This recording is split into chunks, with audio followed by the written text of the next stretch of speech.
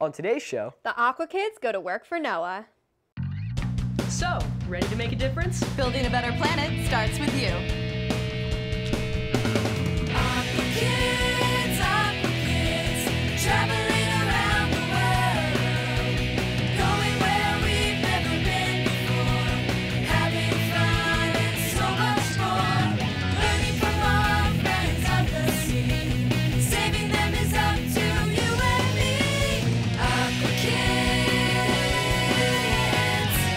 Everyone at home, and welcome to another awesome episode of Aqua Kids. I'm Katie. And I'm Drew.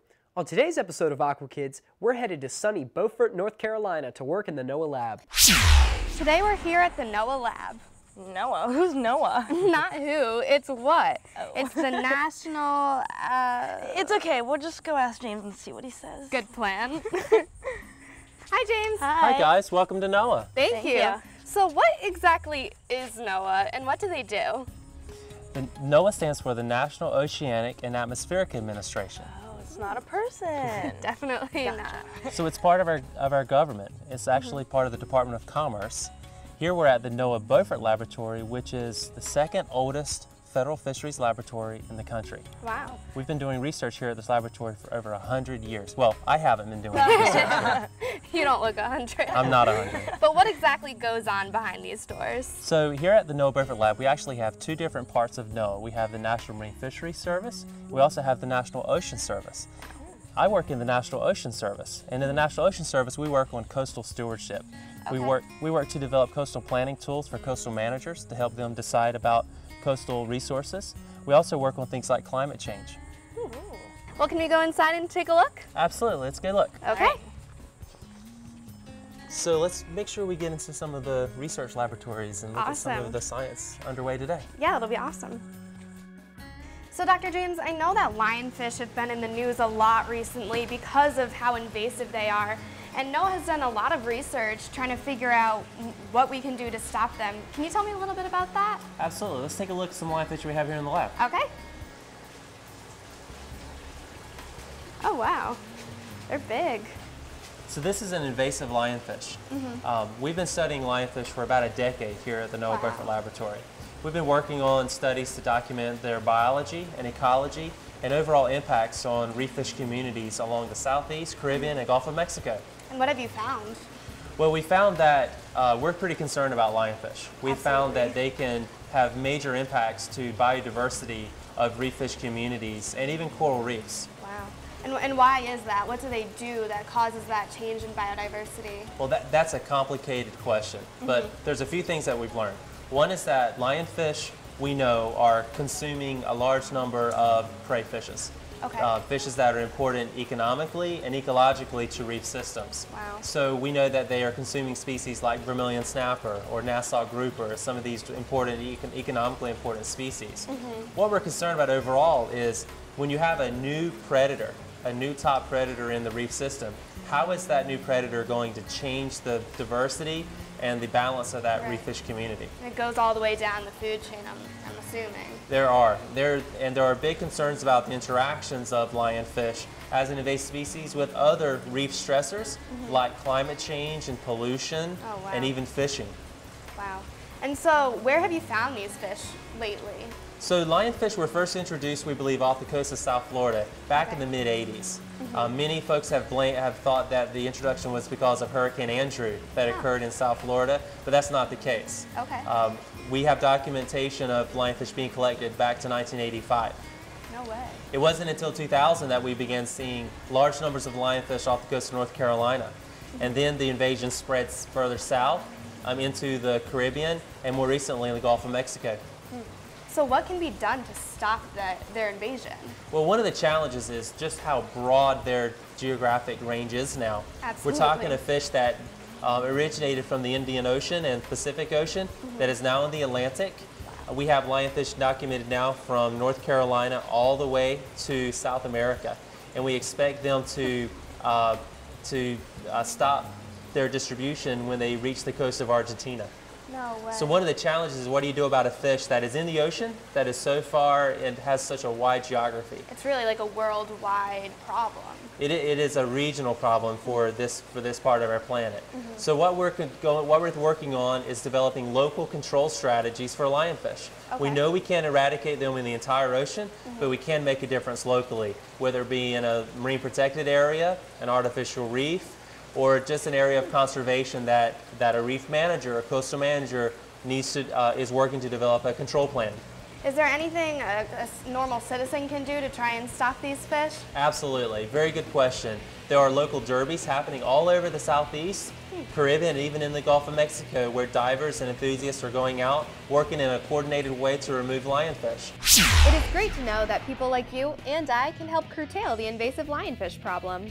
Yeah, I have to start preparing for the next lionfish derby. Oh, jeez. Don't go away. When Aqua Kids returns, we'll be learning all about aquaculture. Aqua Kids presents another Aqua Kids pop quiz. Do you know how long aquaculture's been practiced in the world? Is it A, 150 years, B, 1,000 years, or C, 2,500 years? Don't swim off. We'll have the answer after the break. We're back with the answer to today's pop quiz. So, if you guess C, 2,500 years, you would be correct. Aquaculture may just trace its roots to the ancient water oriented civilizations of the East, where fish served as a main part of people's diets. During the Tang Dynasty, carp cultivation thrived in China. In the 5th century BC, Fan Li, an ancient Chinese advisor, was noted to have raised carp in ponds. Welcome back to Aqua Kids. We're headed back to the NOAA lab to learn about aquaculture. Much of the research done here at NOAA has to do with aquaculture. Drew, there's a lot of misinformation out there about aquaculture, but let's talk to Ken to learn the truth about aquaculture. Hi, Ken. Hey guys, Hi. So we've heard a lot of negative things regarding aquaculture. Could you tell us a little bit of the facts about it? absolutely. So aquaculture is the farming of aquatic organisms. It includes fish and shellfish and even algae. It's a great way to add to our daily seafood supply. So some of the past practices with aquaculture that have had led to environmental concerns are pollution, issues with water quality, and even some issues related to fish health. But those, those issues are really far back long in the past. Today's aquaculture industry is environmentally sustainable, it's economically sustainable, the fish are healthy, they're a great source of protein for all Americans. So how much of the fish we eat today is aquaculture? So Americans eat an average of about 16 pounds of seafood each year. Wow.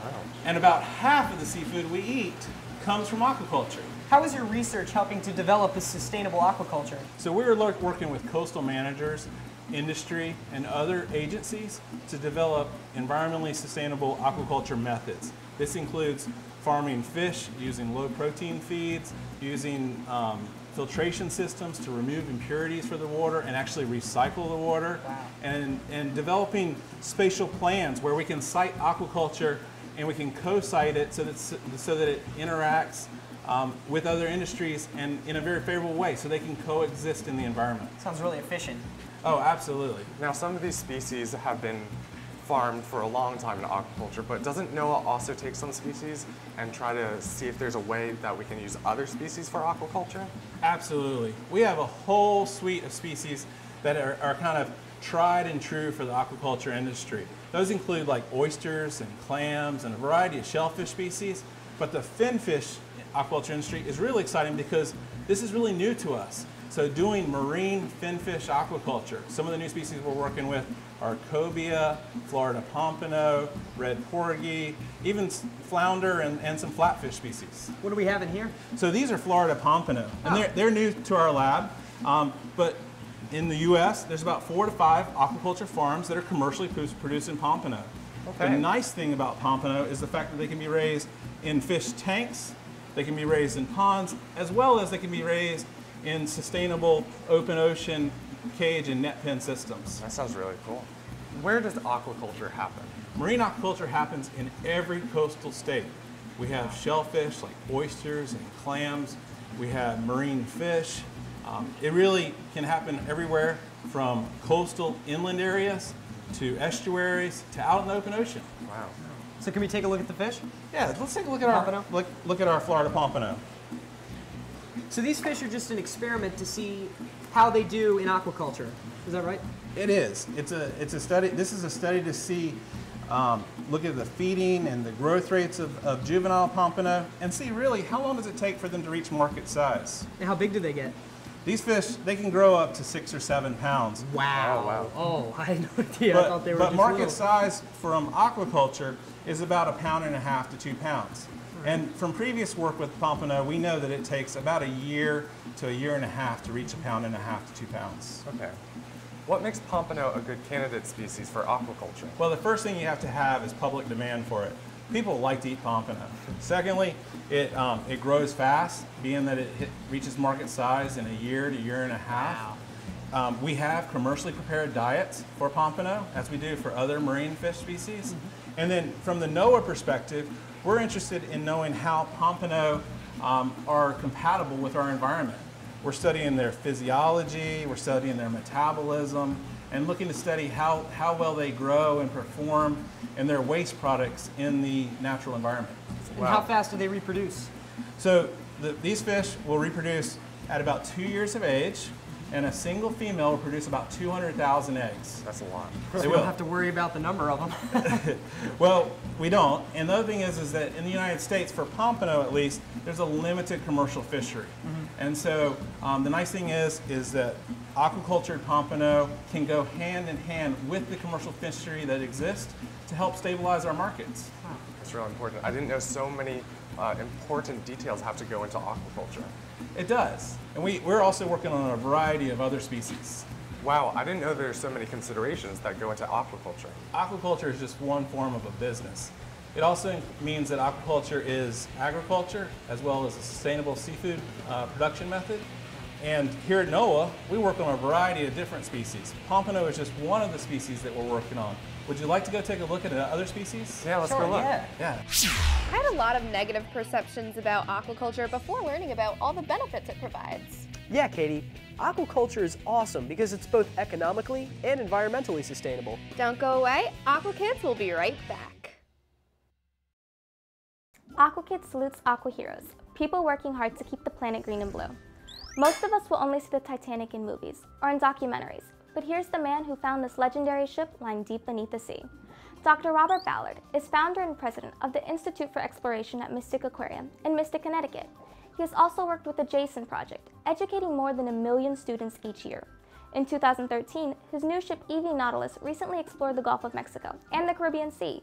The goal was to map the geological, biological, archaeological, and chemical aspects of these areas.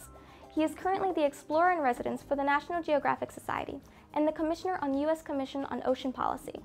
Dr. Ballard has also discovered the German battleship Bismarck and the USS Yorktown. Who knows what he'll find next? Welcome back. If you thought the Florida pompano were cool, just wait until you see this next fish. Let's head back to the NOAA lab and learn some more about aquaculture. So Clark and Drew were just looking at the Florida pompano that are being used for aquaculture, and I know this is another species that's being used for aquaculture. Can you tell me about it? Absolutely. So this is a fish called the red porgy. Mm-hmm. It's similar to pompano in that it's a marine fish, it's, but it's different in that it's found on the offshore reefs out, way out in the coastal ocean. Oh wow. This fish is one of the species that we believe could be a good candidate for marine aquaculture. We're studying this species today, trying to understand a lot about its energetics, its metabolism, and so that we can use that information to do predictive modeling to look at environmental interactions. What are energetics? Well, energetics is basically quantifying the metabolism of the fish. So in order to do predictive modeling where we look at how many fish aquaculture um, operations we should site in the coastal ocean and what the size of the industry may be in certain, in, in certain coastal ocean zones or areas, we have to understand the species. We have to understand the conversion of feed to waste. And if the system can in fact handle the amount of waste that may come out of that fish farm. Or in fact, it may not even be waste. It could be uh, assimilated and used for enhancing productivity. Oh wow. So is aquaculture only really for growing fish to eat, or is it used for other things as well? Very good question. Aquaculture is really cultivation of marine life. It could, uh, in terms of marine aquaculture, we also there is also freshwater aquaculture. Oh okay. Um, aquaculture involves cultivating ornamental species for your home aquaria. It also involves culturing things like algae for biofuels. Aquaculture is really cultivation of all types of marine life. And what are you doing with this particular species? Well, this, this particular species, we have been developing culture methods for about a decade. We've been learning how to spawn and rear them in the laboratory. We've been looking at uh, their energetics, how much they eat, and their conversion ratios. We've been looking at their growth rates and that kind of thing for environmental modeling purposes. Interestingly, this species is a member of the Sparid family, which is in a very important family in terms of aquaculture worldwide. This is this family of fishes represents the second most widely cultured fish on the planet, Wow. second to salmon. And this is very new, though, right? This is new. There, there are actually no aquaculture operations in the U.S. currently producing this species, Oh, but we are working with industry partners to, de- to deliver that technology to them. It is amazing to see what pioneering research NOAA is conducting. I know. Soon we'll see red porgies popping up on our dinner plates. That's right. Stay tuned. When Aqua Kids returns, we get to meet the very cool triggerfish. Apex predators, the guardians of our ecosystem, are vanishing. The gray wolf, ancestor to our modern dog, is found scattered throughout North America, Europe, Asia, and the Middle East. Once numbering in the millions, its population has fallen below 250,000 worldwide. An intelligent pack hunter, the wolf has a complex social structure and strong family bonds similar to humans. Ancient humans learned to hunt by watching wolves. These carnivores keep herbivore species healthy by preying only on the weak and injured, preventing overpopulation and overgrazing. Habitat loss, conflicts with humans over livestock, and our fears are the greatest threats to this misunderstood creature. Find out ways you can help the gray wolf and other apex predators on our website.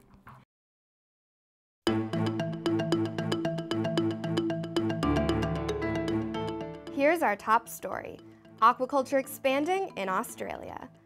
On December 21st, 2013, a company named CO2 Group Limited bought Queensland Prawn Aquaculture Company for 9.9 million US dollars. The acquisition of this company and its assets will allow for CO2 Group Limited to operate the oldest and largest fully integrated prawn aquaculture business in Australia. But CO2 Group Limited isn't planning on stopping there.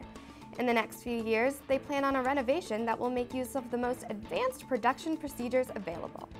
Additionally, they plan to integrate another species, the black tiger prawn, into the crop.